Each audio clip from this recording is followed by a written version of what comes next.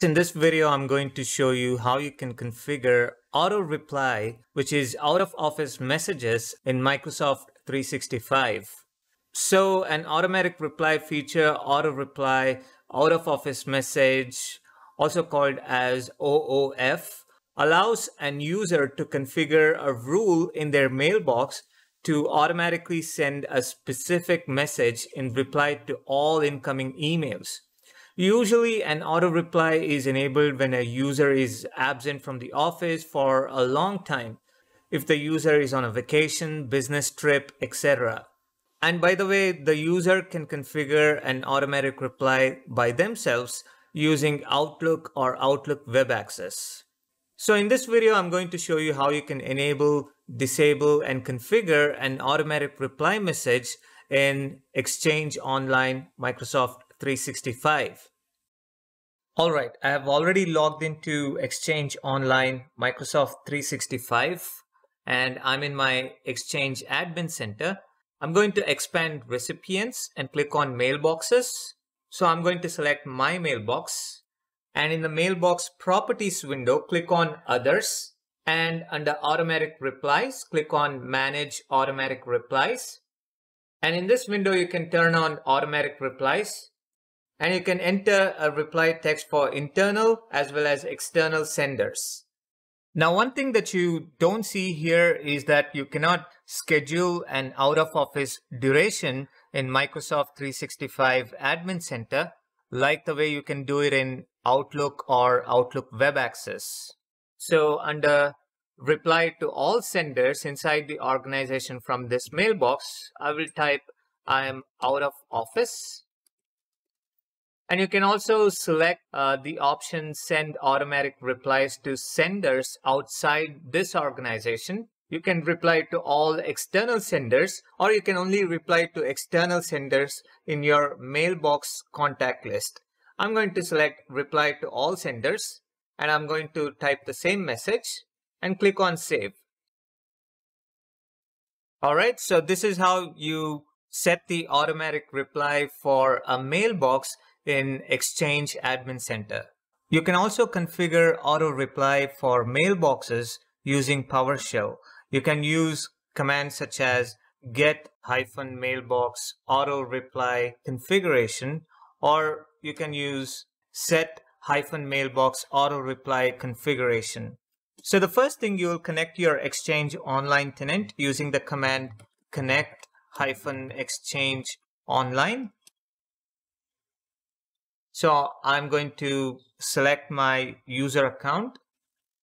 To enable an automatic reply for a mailbox, I'm going to type the command set hyphen mailbox auto reply configuration minus identity. In my case, it will be Michael dot green minus auto reply state is enabled and I will set the internal message so this will be the auto reply message for internal users. So I'll type this as internal auto reply message text minus external message.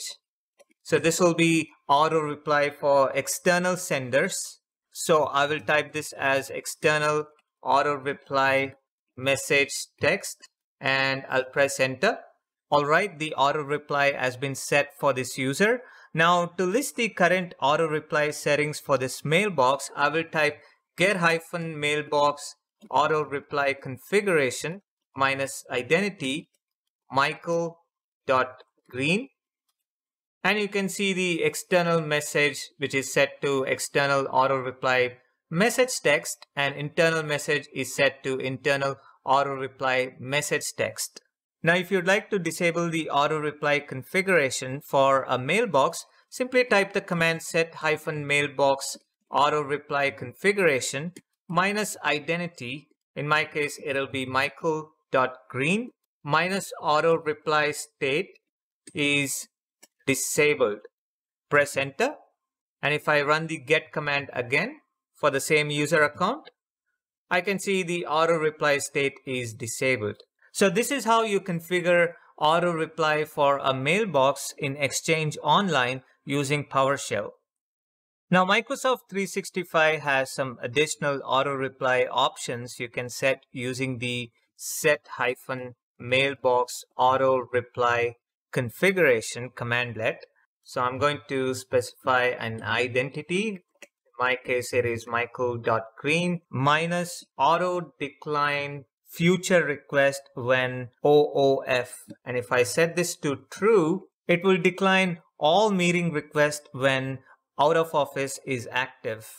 If I use the switch decline all events for scheduled out of office, and if I set this to true, it will reject all accepted events scheduled for the out of office period.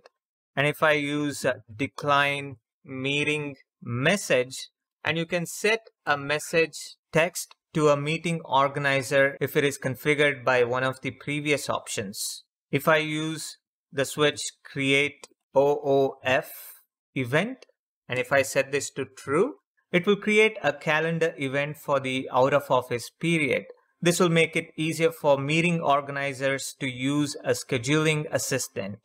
If I use the switch out of office event subject, you can set an out of office event subject to be displayed in the Outlook calendar.